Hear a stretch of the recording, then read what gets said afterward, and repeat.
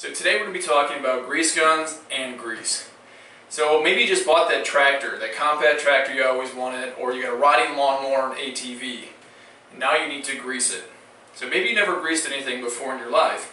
And when you go to the store, it can be very intimidating when you see all the different kinds of grease guns and all the different kinds of grease. What do you buy? What do you have to look for? And what is going to be the best grease gun and grease for your situation? Well, today that's what we're going to go through. And in this video, we're going to look at grease guns specifically because there's a lot of different options. So in the second segment of this video, we'll talk about grease.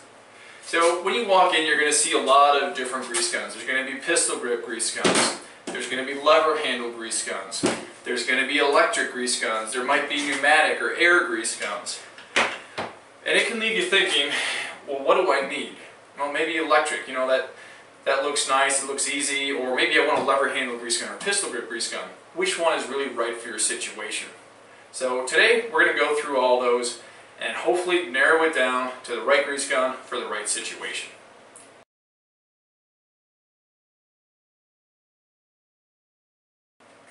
Okay, so when we start looking at grease guns, right when you come down on the diagram, you're going to see a split between two different styles. You're going to see the old standard style, which is the grease gun your dad had, his dad had, and his grandpa's dad had. So it's probably the one you're familiar with. It's very simple. You're going to have to pull back this plunger every time you want to change a tube. You're going to have to unscrew this, um, this outer, outer tube here to get at the reusable cartridge inside.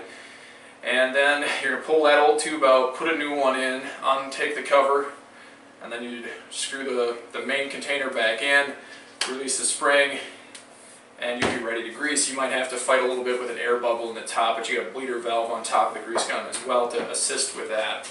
So that's the standard grease gun we're all familiar with. That's the one you're going to run into when you go to the store. Um, although, you might run into this other style of grease gun now as well. It's called Lube Shuttle. It's been around for about a decade, and it's very simple. Um, to change a tube in this guy, all you're going to do is push up on the bottom.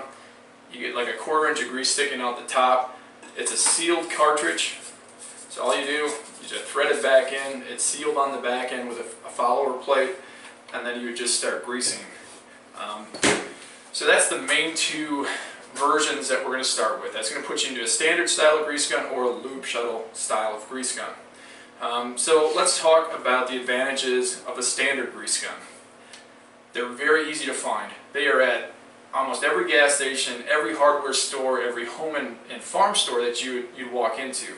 There's going to be a lot of different brands made in a bunch of different countries, and there's going to be a wide price gap. So you could buy a very cheap one of these for 10, 11, 12, 15 bucks. You're going to be able to find grease in an old style cartridge. And that's the, the paper or plastic cartridge that has covers on both ends that you're going to take off. Um, most of the major brands make those cartridges, they're readily available. The disadvantages, these are very messy. They leak grease out the back if you got them hanging on the wall. You got to fight with that air gap. Changing a tube gets very messy, and you can end up with a lot of wasted grease. Um, so the advantages to this style of system, very easy to change a tube. They don't leak grease. Because of the, the way it's designed, you don't have to fight with an air gap. Um, in terms of cost, they are more expensive. Um, all the lube shuttle guns are made in Germany, so you're going to be running into them around 50 on the low end up to 65 on the higher end, depending on what kind of options it would come with. The advantages, again, very easy to change, no mess, no leaking grease. Disadvantages, there's only about a half dozen to maybe eight at the most companies right now in the US that are filling this style of tube. So they're a little bit harder to find. They're easy online. Um, they're all over and a lot of the big box chains are going to be carrying them. Um, but those are two advantages, disadvantages right off the gate when we start looking at grease guns between a standard gun and a lube shuttle gun.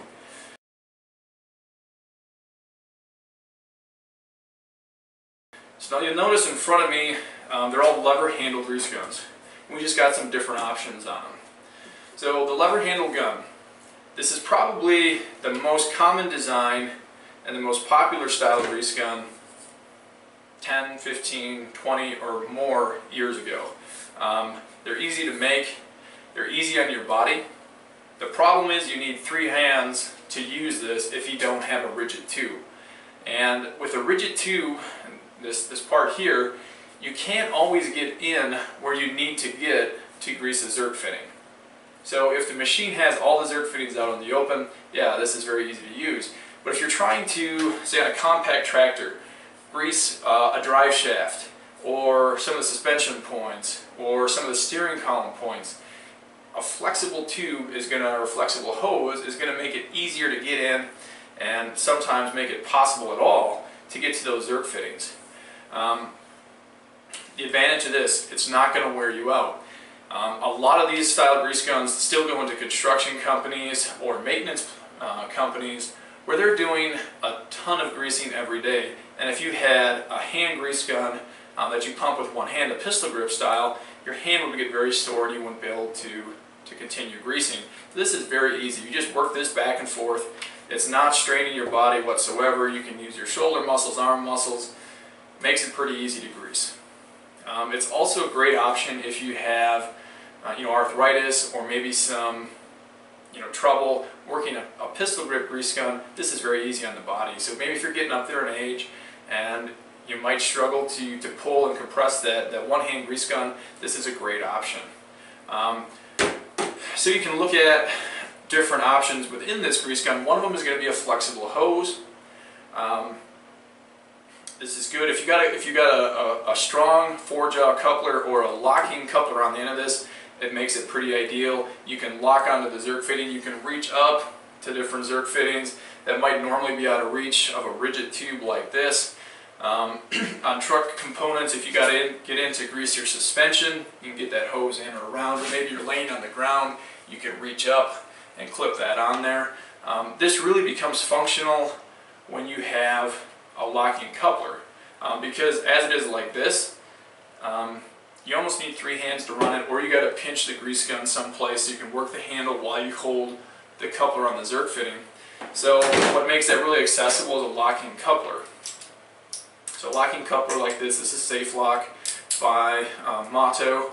It's going to lock onto a Zerk fitting. So in a case like this long flexible tube hose, you could clip that onto the Zerk fitting, work the grease gun, and pull the, the coupler back off. These unlock under pressure. They're pretty handy. Um, where you're going to get into a little bit of a headache with a locking coupler, either one like this, which is the same as a standard coupler, or some companies make them that are longer. Um, you can't reach into a Zerk fitting sometimes because the lever is too big or the handle um, that you have to depress is a little bit too big to get in some of these tight areas. And as you make this longer, so you can reach in further, what you end up having is a non-flexible piece of steel that might be 6-8 inches long, and then you can't make a corner. Um, so these are really handy on compact tractors, lawnmowers, different things like that, where you have a lot of Zerk fittings that are out in the open. It makes it very easy to just clean, cleanly clip onto a Zerk fitting. It locks on there tight. It's going to save some of that mess around the Zerk fitting in the coupler, and it makes a lever handle grease gun a lot more functional because you have a free hand, so to say, to operate this grease gun.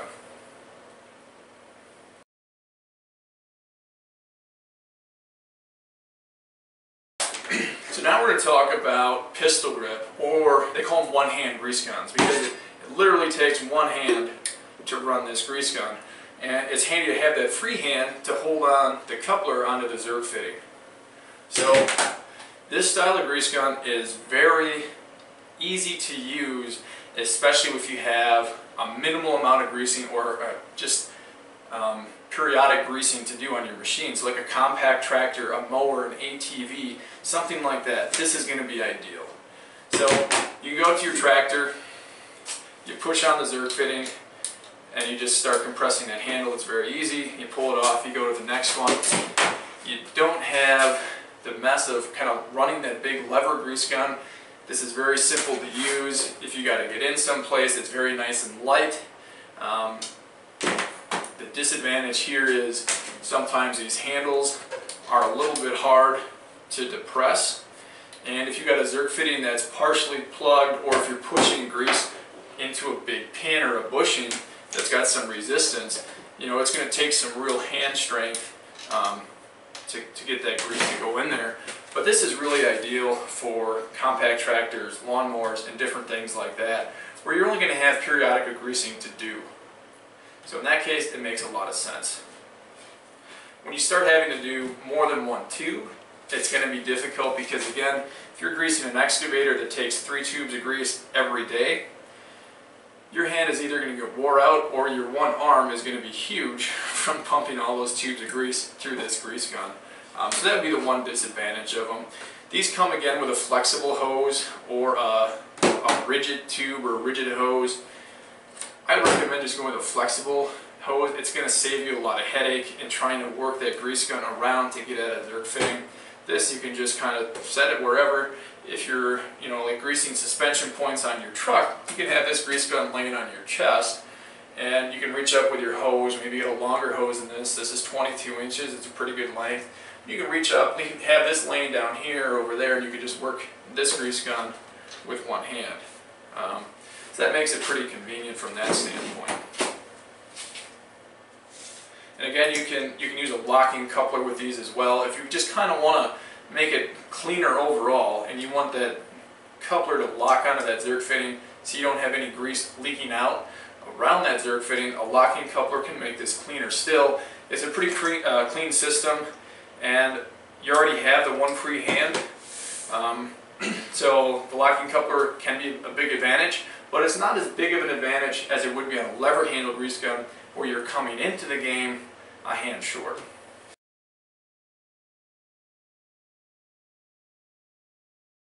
So now we get into electric grease guns.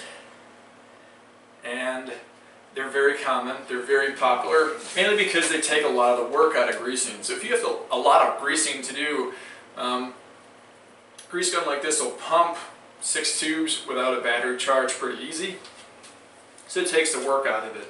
All you need to do to grease is you put your tube in, maybe it's a standard electric grease gun with that plunger or it's a lube shuttle style grease gun, we just thread in that tube and you just pull that trigger and you're off and greasing.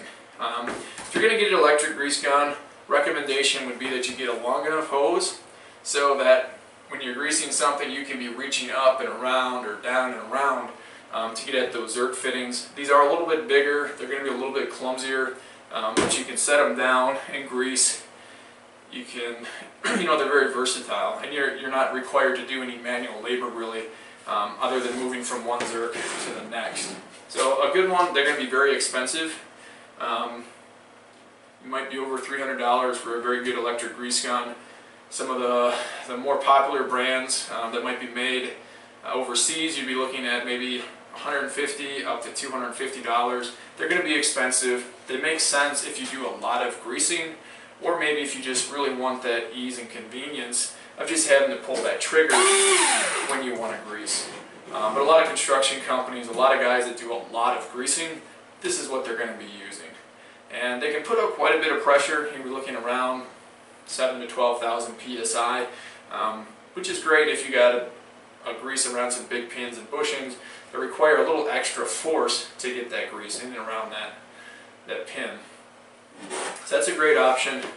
Um, if you don't mind spending a little extra money and you have a lot of greasing to do, or if you just want something that's easy and clean to grease with.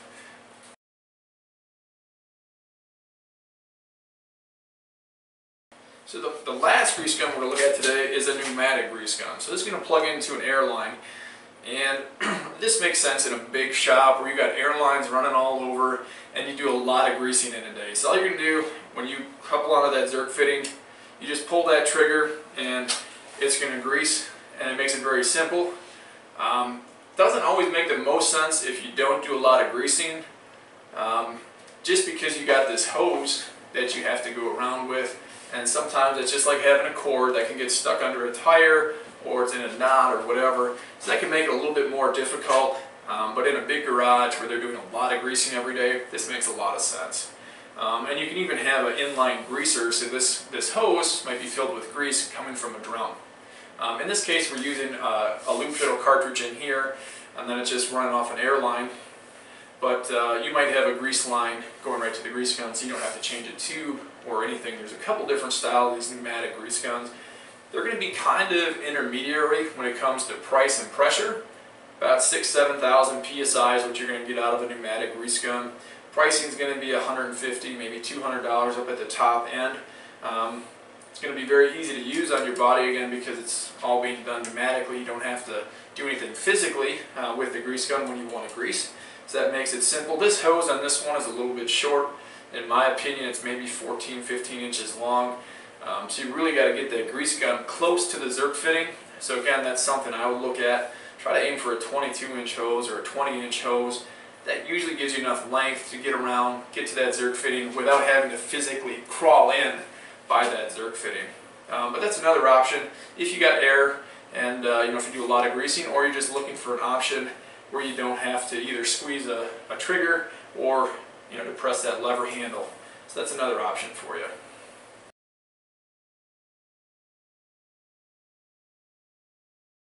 So as just kind of a quick review, you know you've got lube shuttle style grease guns with a thread in, thread out cartridge, or you have st uh, standard grease guns with a pullback plunger and an open-ended cartridge. Those are your two main differences. Within each of those categories, you're going to have pistol grip and lever handle grease guns. Um, lever handle grease gun is going to put out a lot more pressure than a pistol grip grease gun. Pistol grip grease gun is easier to use um, just because you have two hands. This one, sometimes you might need a third hand in some cases or a locking coupler if you got a flexible hose. Um, you're going to have electric grease guns in both standard and lube shuttle styles and they're going to make greasing very easy. If you have a lot of greasing to do, you just pull that trigger. Um, one disadvantage there would be that you can over grease, which is a topic for another day, um, but that can happen, or tends to happen with, with electric grease guns more so than a hand grease gun. And then you've got pneumatic or air-driven grease guns like this one um, that are going to be kind of mid-range price. They're great if you got a lot of greasing to do, um, but then again you've got that, that air hose or that grease line going to it, so you might be taking away some of the advantage um, compared to an electric grease gun where you're going to be cordless or hoseless. Um, but if you got a lot of greasing to do in a big shop, that can be a big advantage as well. So if you have any questions, please let us know. We're always looking to do follow-up videos on what you guys want to know about. So just leave a comment and we'll uh, answer the comment or maybe we'll do a video on it. So thanks for tuning in.